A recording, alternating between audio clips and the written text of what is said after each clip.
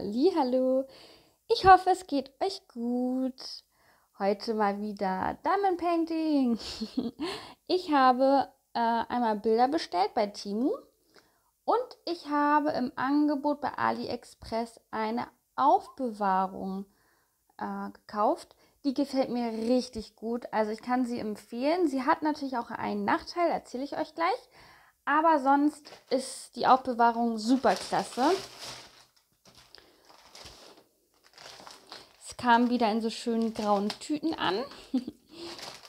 Man weiß oft immer gar nicht, oh, was war da jetzt drin? Ist das eine Kooperation? Ist das.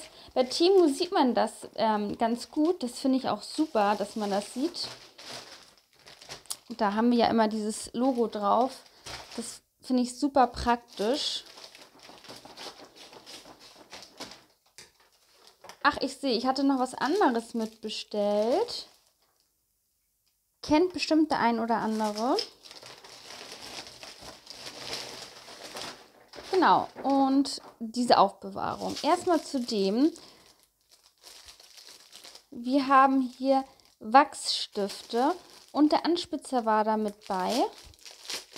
Ich benutze die Wachsstifte gerne für meine Nägel, für Strass um die auf meine Nägel zu applizieren. Wie nennt man das? Applizieren? App Applikationen, wollte ich gerade sagen, ist, aber ich weiß nicht, wie man das nennt, das Tu-Wort davon. Also, um das auf meine, um die Strasssteine auf meine Nägel äh, zu machen. Oh, ich sehe gerade, wir haben verschiedene Farben. Cool. Wir haben ein richtig schönes Pink, ein Neongelb, ein Braun und ein Weißes. Ich kenne nur das Weiße. Ich würde sagen, wir spitzen mal einen an. Wir haben nämlich einen Anspitzer dazu bekommen. Das war auch im Angebot. Und der Anspitzer funktioniert super gut. Da bin ich ja immer ein bisschen vorsichtig, so aus China mit solchen Sachen. Ich hatte mir nämlich mal so ein Schneidegerät zum Beispiel bestellt. Und da waren einfach mal die, ähm, die Schneide war einfach sowas von stumpf. Oh, wie cool. Der ist pink.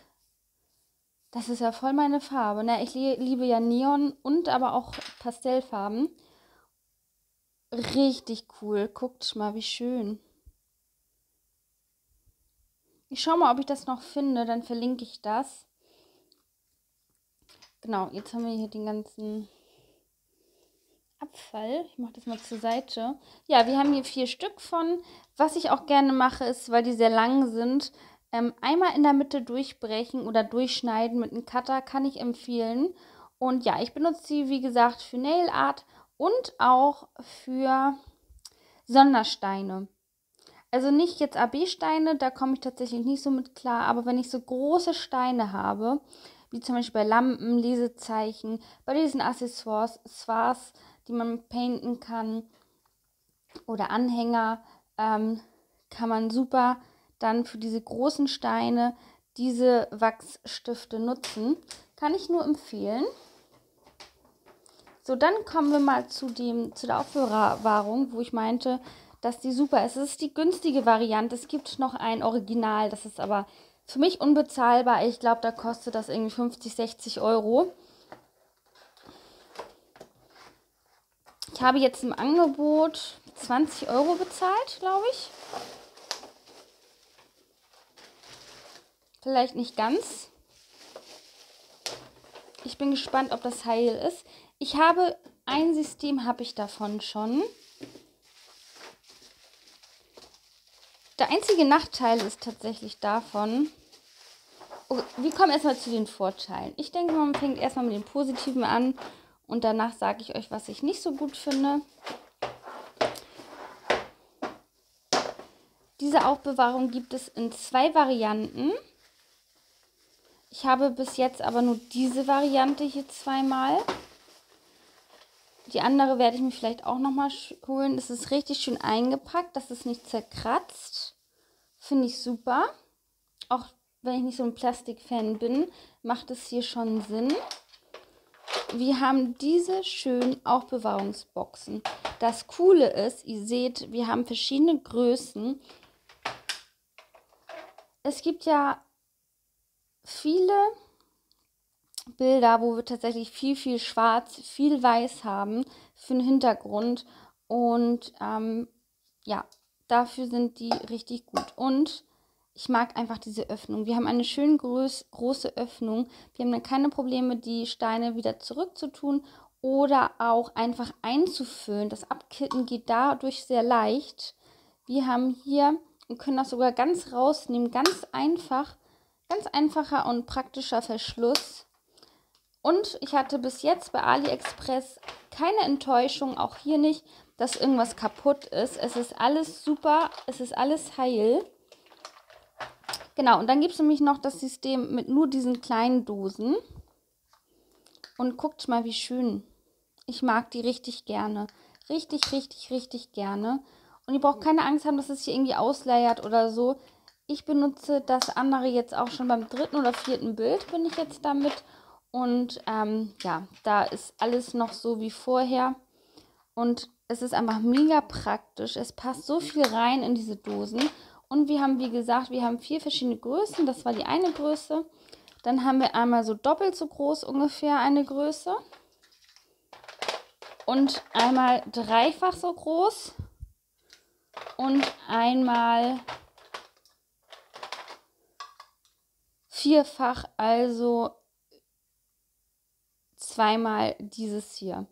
Finde ich richtig cool, wenn man weiß, dass man nicht ganz viele Farben hat mit wenig Farben, sondern man hat viele verschiedene Größen.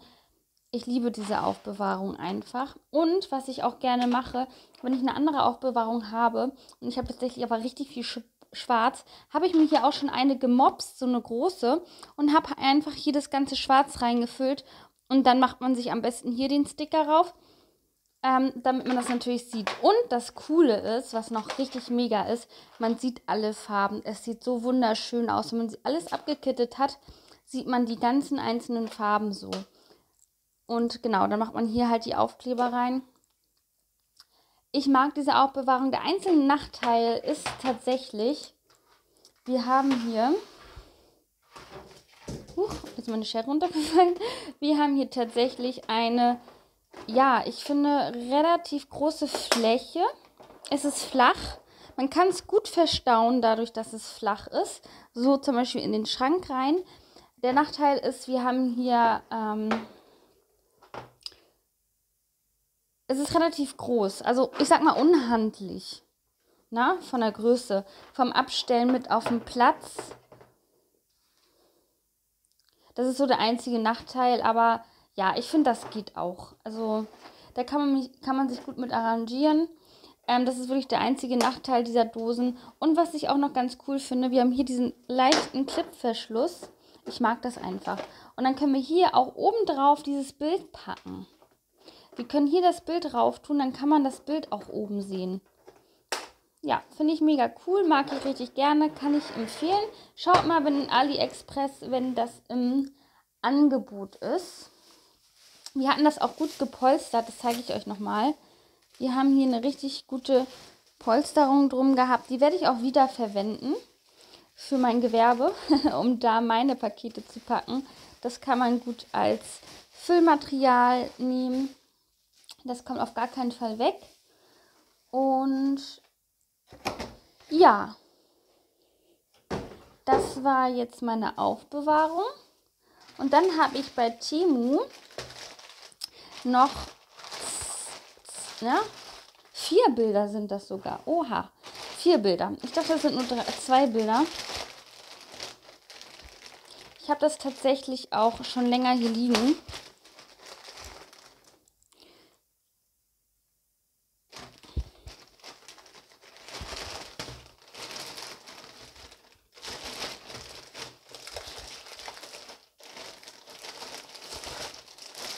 Oh, es ist einmal. Oh, oh wurde einfach einmal so zerknickt. Oh, das finde ich ja nicht so schön. Na? Warum haben sie dann nicht gleich eine größere genommen? Das ist nicht schön. Ach, jetzt weiß ich. Das war mein Totenkopf. mein ähm, Totenkopf-Vibe, den ich da hatte. Es sind drei Bilder. Das war geknickt, deswegen dachte ich, dass es vier sind. Wir schauen mal, wie doll das jetzt äh, kaputt ist. Genau, ich habe zwei Totenkopfbilder und ein anderes bestellt bei Timu. Wir fangen mal mit denen an. Das ist 30 x 40 Diamond Art Zone, heißt die Firma, von dem das ist. Hier ist einmal die Nummer. Vielleicht sucht ihr das mal oder könnt ihr das darüber finden. Wir haben einen schönen Totenkopf mit Blumen. Könnt mir mal in die Kommentare schreiben, aber auch so gerne Totenköpfe mögt. Das ist ja sehr speziell, sage ich mal. Es gibt welche, die lieben es und welche, die überhaupt nichts damit anfangen können.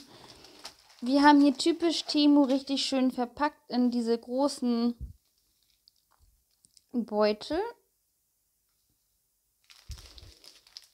Hier haben wir viele schöne lila Töne. Wir haben Acrylsteine.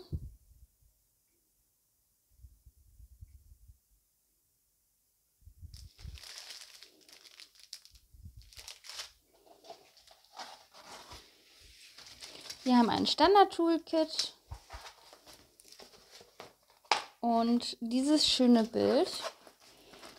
Ein richtig tolles Snack-Bild 30 mal 40, wir haben hier wieder ähm, ungefähr 4 cm Abzug. Also wir haben hier ungefähr 26 mal äh, 36 cm. Wir haben 20 Farben. Das ist auch schnell gepainted. Ich schätze mal so 3, 4, maximal 5 Tage, wenn man nicht immer länger als eine Stunde dran sitzt.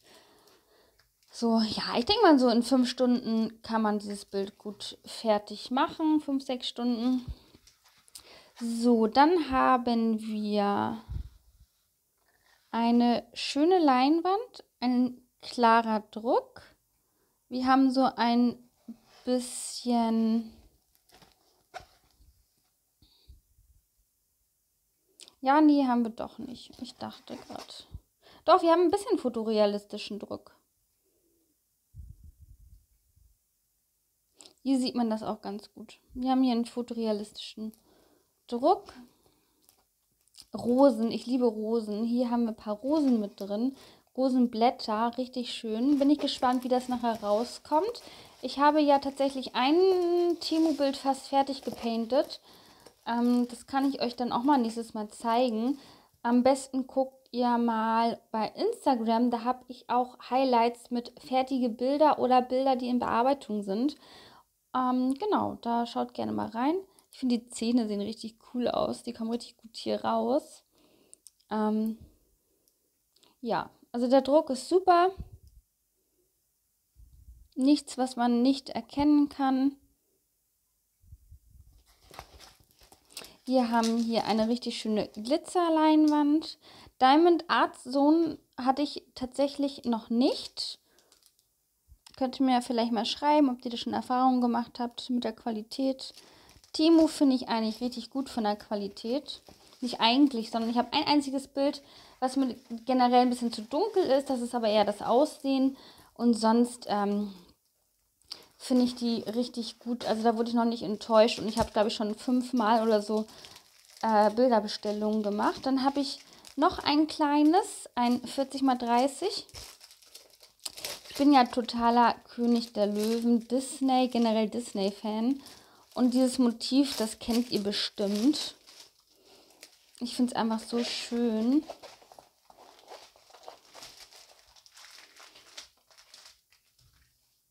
Ja, es könnte ein bisschen größer äh, sein.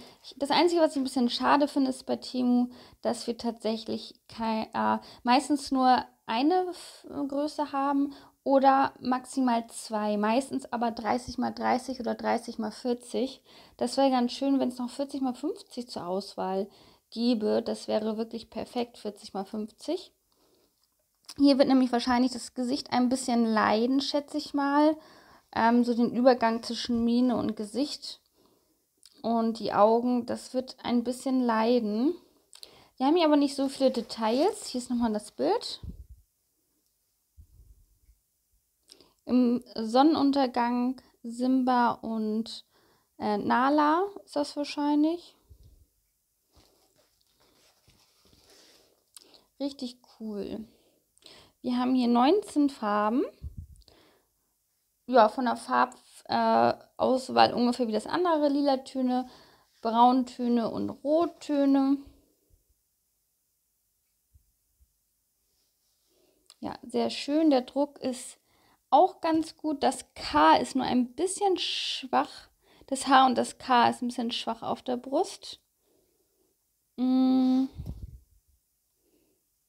Ich finde, das K ist ein bisschen verschwommen. Das, ja, das K ist ein bisschen verschwommen, wie ich finde.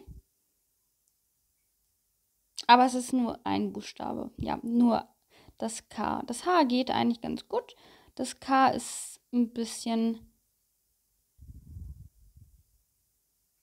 undeutlich. Ja, aber wir haben hier wieder gegossenen Kleber. Wir haben hier ein Toolkit mit dabei. Ne, Moment, wir haben, wir haben hier kein Toolkit bei. Ich habe hier nur eins liegen. Ich habe da schon ein Bild ausgepackt. Wir haben bei dem kein Toolkit. Das habe ich auch noch nie. Ach doch. Guckt mal, das klebt da dran. wir haben hier ein Toolkit und die Töne. Wir haben hier wieder Acrylsteine. Da sieht man das an dem kleinen Löchlein da.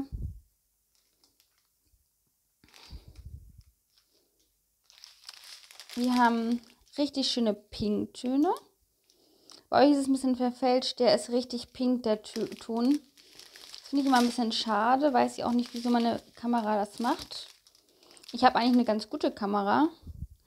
Aber die Töne kommen manchmal ein bisschen anders rüber. Wegen dem Licht wahrscheinlich. Ja, das war das zweite Bild. Und dann zeige ich, mache ich kurz Pause und dann zeige ich euch noch das große dritte Bild. Mein Sohn ist eben kurz wach geworden. so, jetzt, genau, jetzt haben wir ein großes Bild. Habe ich tatsächlich, ach so, die waren natürlich alle rund, habt ihr wahrscheinlich auch gesehen. Huch, es waren alles runde Steine und ich habe jetzt Größe 50 mal 50. Ich glaube, ich habe bei Timo, das ist mein größtes bisher.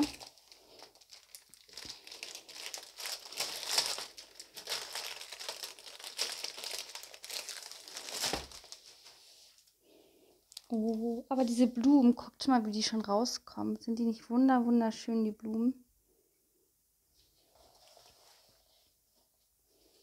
Ja, 50 mal 50, dann haben wir wieder 5 cm, 6 cm Abzug. Oh, wie cool ist das denn bitte? Aber wir haben sehr, sehr viel Schwarz, sehe ich gerade.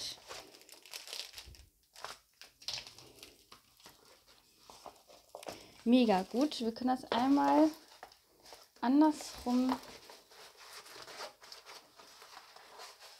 Wir haben hier gegossenen Kleber, das heißt, wir können das einmal andersrum auf, einmal andersrum aufrollen, so. Die Leinwand ist ein bisschen störrisch, aber ganz ehrlich, für den Preis kann man nichts sagen. Ich glaube, die kleinen Bilder haben 4 Euro gekostet und das große hat jetzt 8 oder 9 Euro gekostet. Und guckt mal, was für tolle Farben wir hier haben. Oh, es ist mega cool, das Bild. Das Einzige, was noch, was mir so auffällt, was auch noch richtig cool wäre, wenn dieser, dieses Skelett, denn, also das Skelett, wenn das jetzt noch Kopfhörer hätte, das würde richtig gut in das Bild passen, wenn das, ähm, wenn das, wenn der Totenkopf jetzt noch Kopfhörer auf hätte. Ich weiß nicht, wie ich da drauf komme, aber so ein ähnliches Motiv habe ich mal gesehen mit Kopfhörer. Finde ich richtig schön. Auch in der Vorschau seht ihr, was für knalle, knallige Farben wir hier haben. Richtig cool. Hier kann man bestimmt auch Neonsteine gut einsetzen. Zum Beispiel hier in den Blumen oder AB-Steine. Hattet ihr schon mal AB-Steine bei Timu oder andere Sondersteine? Ich bisher noch nicht. Die hier 24 Farben, ist in Ordnung. Könnten ein bisschen mehr sein für die Größe, aber wir haben hier sehr, sehr viel Schwarz, wie ihr seht. Also das N ist, ich guck mal, das ist die 939. Aber da wir rund haben, ist das nicht so schlimm. Wir haben hier ein Päckchen mit Zipbeutelchen, was ich richtig cool finde. Also abgepackt in Zipbeutel.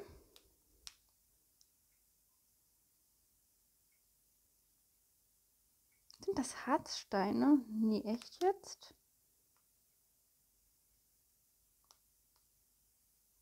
Hm, nee, ich glaube nicht. Aber es sind richtig gute Steine. Hier sehe ich eine kleine Einkerbung. Wir haben sie hier durchnummeriert, natürlich.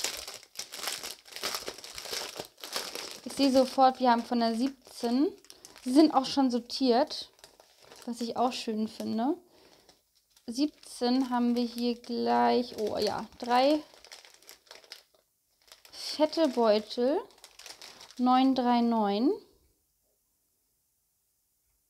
Aber schaut mal, was für eine gute Qualität. Ja, wir haben Hartsteine. Sieht man hier. Aber dass sie in Zipper sind und dann noch in die in ganz stabile Zipper, das finde ich mega gut. Und als Trick, versucht nicht so die Zipbeutel aufzumachen, sondern schiebt einmal so, das geht viel schneller. Ich habe es früher auch mal gemacht, auch hier und dann so rauf und dann hier. Nein, ihr braucht einfach nur einmal so machen. In die entgegengesetzte Richtung jeweils die schieben. So, wir haben hier richtig, richtig schöne Farben. Ich zeige euch mal ein paar knallige Farben. Richtig cool. Pack die auch wieder zwischen, weil die sortiert sind. 10, 11, 8, 9. Da, 10, 11. Dann haben wir ein knalliges Blau. Ein richtig schönes Blau haben wir hier. Die Steine sehen richtig gut aus. Die sehen auch alle gleich groß aus. Also Timo für die Preiskategorie kann man echt nichts sagen. Schaut mal bitte die Steine, wie gut die sind.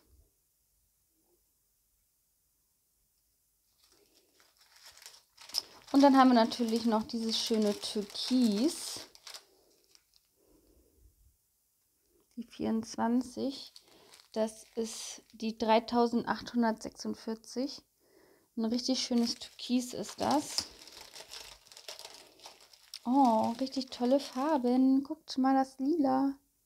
Oh mein Gott, das ist ein richtig schönes Lila. Ich liebe ja Lila und Pink und Rosa. Das sind ja total meine Farben. Obwohl ich natürlich auch viele, viele Blautöne liebe. Vor allem diese Türkistöne finde ich so schön. Ja, also ich werde hier auf jeden Fall auch ein bisschen Highlights setzen. Ich denke mal, in den Blumen werde ich AB-Steine setzen. Das können wir ganz gut. Vielleicht hier noch ähm, weiße AB-Steine. Ähm, da, wo es so ein bisschen, ja, leuchten soll, sage ich mal. Hier kann man bestimmt auch richtig schön AB-Steine einsetzen. S, das ist wahrscheinlich dieses Standard 3756. Ja, da habe ich welche. Das machen wir. Also das Bild gefällt mir richtig gut.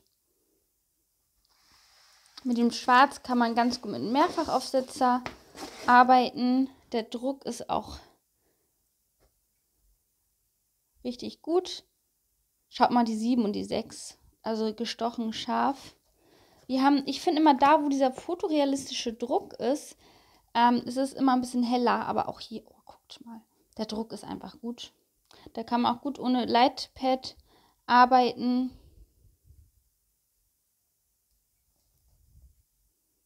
Ja, es ist schön hell gedruckt. Es ist alles super zu erkennen. Ja, gefällt mir richtig gut das Bild. Und ähm, ich muss unbedingt jetzt mal einen Totenkopf painten. Ich glaube, ich habe erst eins gepaintet in meinen fünf Jahre Painting-Zeit. Und ich muss unbedingt mal einen Totenkopf wieder painten.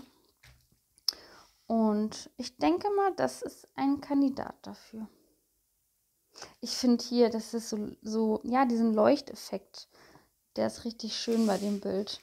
Ja, ich werde euch die verlinken, wenn es die noch gibt. Es ist ja bei Timu oft, dass die dann nicht mehr genauso nachzubestellen sind.